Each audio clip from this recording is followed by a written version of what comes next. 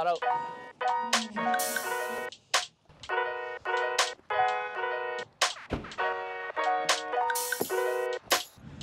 go. Ooh, you ready, mate? I think I'm gonna get wet. So I'm Jonathon Bleakley and I basically started fishing like every other kid does with their, with their dad and their grandfather down at the beach and on the rock wall. And then that slowly turned into throwing lures in estuaries and river systems up on the mid-north coast of New South Wales and in Lake Macquarie here. Let's do it. Oh, what a morning. I love overcast conditions. I love it, love it, love it.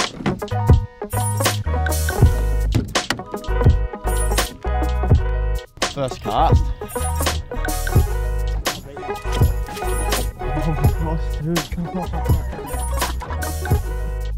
I can remember when I caught my first flathead off the bank.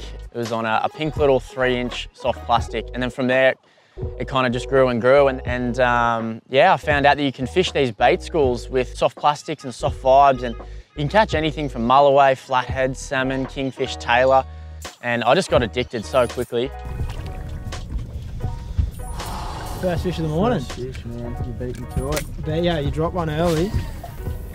That's good, good stuff. Yeah. Right off that bait Right on that bait there. So my name's Jack Nolan, I'm from Mileston, New South Wales. I'm 22 and I've been fishing for as long as I can remember.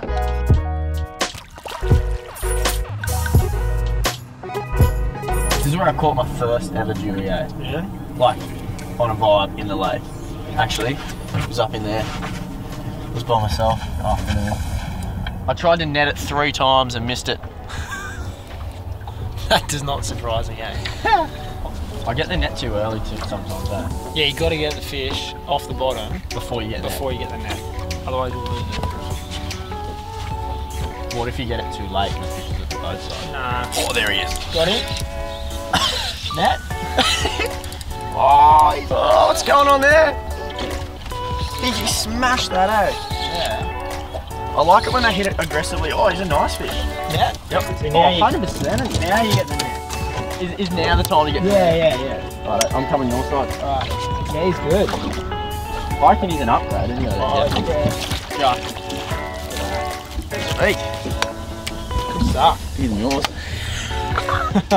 they hang around these bait schools. I mean, we didn't mark too many, too much bait when I caught him, but they just sit on the bottom, scavengers, clean up what the tailor and the salmon and the kingfish make a mess of, basically. Jack, too much chafe to risk it. Yeah, I'd change that for sure. Definitely. But if I don't change it, I'll get a fish. I met Jack about 10 years ago on um, up in Mileston actually, and I remember he was down the road from me. I knew he was a really, really good fisherman. And um, I said to Dad, geez, I'd love to go fishing with him one day, Dad. And he goes, well, just go ask him. And I walked down and said g'day, and I said, oh, do you reckon I can come fishing with you? And he goes, yeah, well, let's go. And we went and spun flathead on soft plastics, and I hadn't done a lot of it at the time. We caught a few too, and kind of just went from there. And then, yeah, we've been fishing ever since, really. Second one for the morning for me. Jono's got one. 2 1, I think that is. Basically what we're doing here this morning is just fishing bait schools. As the winter months roll in and the water temperature cools down, you'll have bait schools congregating about eight to nine metres. And uh, along with that go the flathead, the mulloway, the salmon, the tailor. They seem to just follow them. So we're just using our vibes. I'm using a soft plastic. We're just working the bait schools, probably the outer circles of it. And then, uh, yeah, working our lures through it. And we're a chance of a flathead. We've got a few this morning, but uh, I must admit we're chasing that mulloway. And uh, yeah, so far so good, but hopefully going for an upgrade. So basically what we're doing when we're fishing bait schools, we're trying to locate where it be mullet, herring, tailor or whitebait, pilchards at times, and locate them on the sounder and then fish the circumference with soft vibes, soft plastics, top water lures too if they're pushed right up in the water column. And then I just felt a big whack and the rod loaded up straight away. Oh, nervous times, I want on 10 pound. Tell me when you want the net and I'll get it. Oh, I've gone really light Oh, here. look at the fish on the sound of it. Gone really light. We're just having a bit of trouble hooking these fish, so we thought I'll go right down to 10 pound leader and 8 pound braid and fishing a plastic and just, I literally just, oh, oh, oh. Oh, nervous. What do you I, call I them, don't know. I tell you what, it's been a beautiful morning. I've been saying to Jack all morning we need to try upgrade. And there's big head shakes there. I'm, I'm actually thinking reckon- this is quite a good fish. So Yeah. I'll play this man. really, really slow. Yes or no? Only on 10 pound, man. I know. Well, why'd you get the net, man? No, because you got it off the bottom. Got it's it. a cracker. Oh, he's not ready. Oh, it's a big head shake there. Righto, brother. Yes, man. Good stuff. Oh, what a flathead. What a flathead. That has been sitting under these bait schools all morning and he would just be chopping up everything from tailor. Jack caught a little whiting there before. He'd be sitting under there just going smash, smash, smash. And I put that little five inch, I think, is that a five inch, Jack? Yeah, that's a five inch plastic just over his head and it was a real subtle movement. And uh, he's just climbed all over that. Oh, there you go, mate. You're a pretty looking fish, that's for sure. Righto. There he goes. Doesn't get much better than that, man. Good Sweet. stuff. Are we getting a coffee or what? Yeah, I reckon. I reckon it's it- about time. What about a meat pie? We're fished hard enough. We fished hard and we'll get a meat pie, I reckon. Sweet as, let's do it.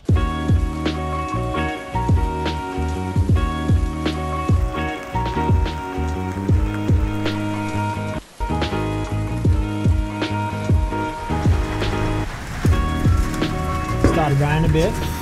Man, What do you reckon? check the radar. Mmm, Oh, we're right on the edge. we're right on the edge. Right. I reckon if we had probably 10 minutes south, we'll be able to get out of it and we can fish down there around the bait schools. Yeah. I, I don't want a bit of a sprinkle, but yeah, I reckon we do that. We'll finish these, finish the coffees, and then head down south and do an Arvo session, maybe find a tailor or something.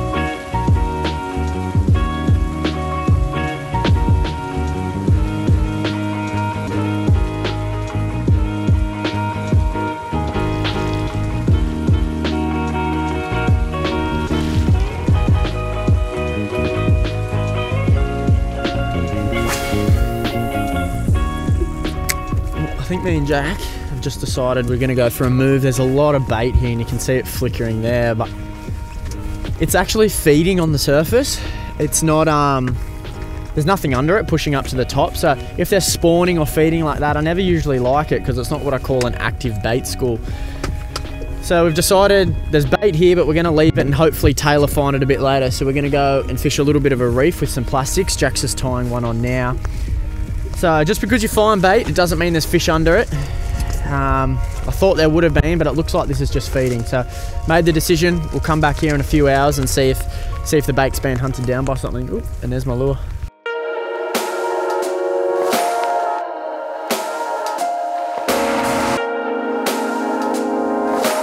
Blue spots are unreal on these fish.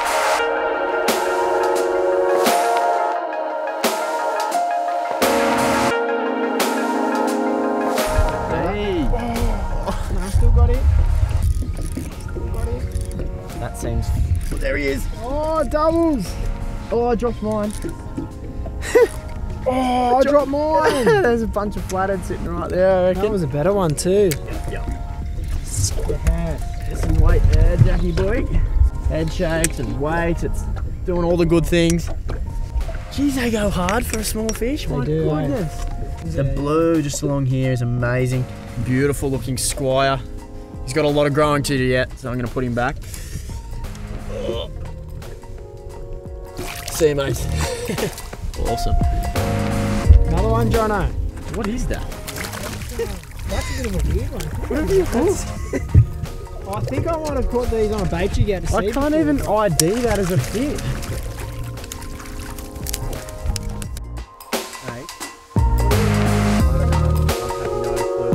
I've never seen one caught in here before, eh? No, I reckon I've caught them off Coffs um, on a bait jig. Just yeah, once. right. Look at the eye. Yeah, yeah. What I do you reckon? reckon? I think. What do you? I don't know. Don't I'm know. pretty sure they're called a glass eye, a glass eye. but um, I'm not 100% sure on that. man, it's amazing what hangs around these bait schools. That's it. That eye, it. man, I can't get over that. He's pretty cool. That's cool. I'll That's tell you awesome. what, I don't know what it is, and I'm not taking it home. So Nah, we're gonna let this fella go, eh?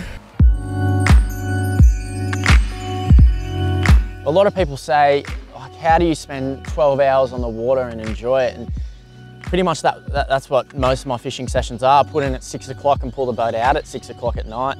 And it can provide for some, yeah, not boring times, but you know, you, you have to make a bit of fun where you can.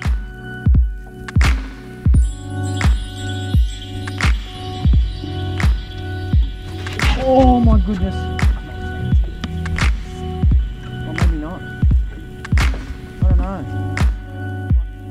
It's always good catching up and having a fish with Jono, but um, yeah, he's, he's a bit messy in my boat, which I don't really like, and he's always throwing shit around the boat. Um, yesterday he threw an umbrella straight over the side, which is a typical Jono thing to do. Basically what I'm doing, you know, when I'm out in the water is chasing a mulloway. I love my flathead, I love my snapper, I love tailor, but the goal of the estuary, the ghost of the estuary is the mighty mulloway. And I can remember when I caught my first one, I was throwing vibes in about year nine or 10. I was by myself, it was late afternoon, it was, it was perfect conditions. And this, this lure was sinking down, I got a big whack and you know, within a couple seconds I knew this was it. I was by myself, I didn't have a net, and I had to basically fight this fish, never caught a jewfish before, and I remember when I landed that fish, I went, right, this is me for the next 10 years, I'm just gonna target these fish religiously. And uh, basically that was the goal for today.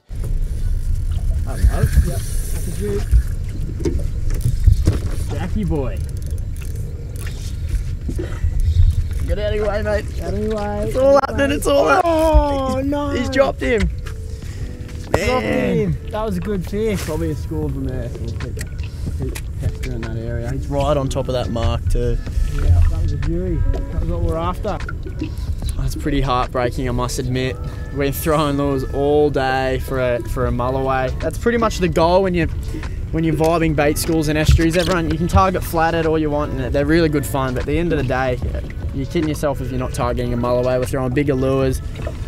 Late afternoon, Jack hooked it, and uh, Wasn't to be. wasn't to be. He hooked it, set the hooks, and had a had a first run there, and then don't know. Can't explain those things sometimes. So that's I don't know. It's disappointing. We've got about an hour and a half of light left, so we're pretty much just going to pepper this area for about an hour and a half, and I don't know. We might get his mate. They they traditionally, you know, run around in schools, but who knows? It's hard to tell.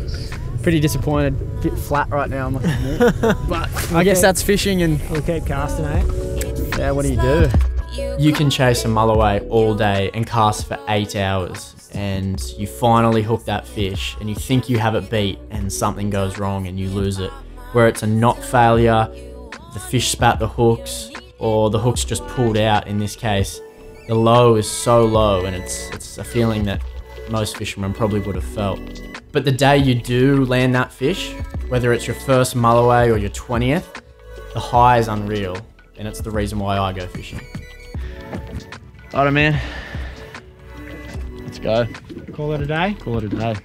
That was alright. It's a good session. There's nothing wrong with that. Nah, not at all.